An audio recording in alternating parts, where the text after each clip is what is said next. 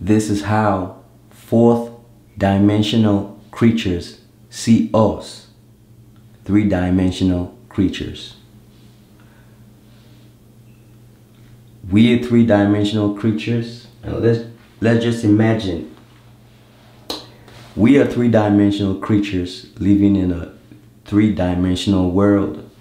So for this video, let's just imagine that this surface is two dimension. So this is a two dimensional world while we are three dimensional beings living in a three dimensional world. This is a two dimensional world. Okay, now let's imagine this square or rectangle let's just imagine this rectangle is a is a human being living in the two-dimensional world.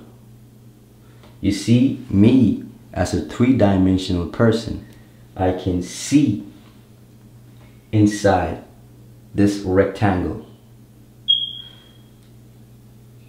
This rectangle is a, is a, is a person living in the two-dimensional world but this rectangle cannot see me, but I can see the rectangle. For example, let's say the rectangle has had a long day and he choose to go home and take a nap. So he goes, so he goes, he opens the door to his house, he enters the house, he closes the door. To him, he is hidden. Nobody can see him. That's what he believes in his two dimensional world. He cannot see outside because he is in a two dimensional world. He is inside his house. Nobody can see him and he can't see anybody because these are the walls of his house. But me, as a three-dimensional person, I can see inside his house. I also can see inside him.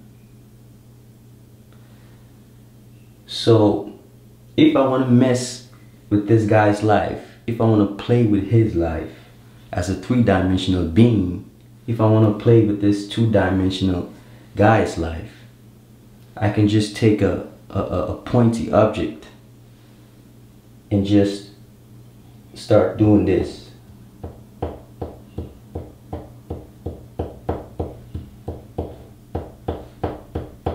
You see, as I'm doing that, he is going to be feeling different type of emotions. Angry, sad, mad, suicidal, violent thoughts, crazy thoughts. He is going to be acting really crazy. You know what I'm saying? That's because I'm doing this. I'm playing with his emotion.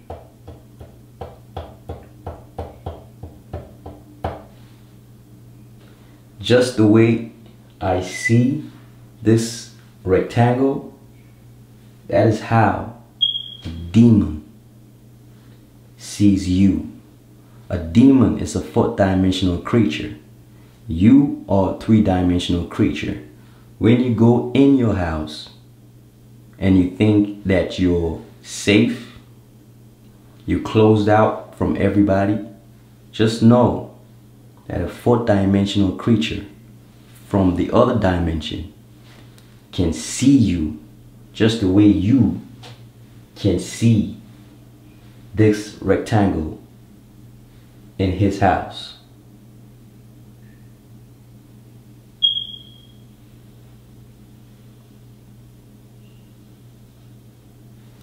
Be wise.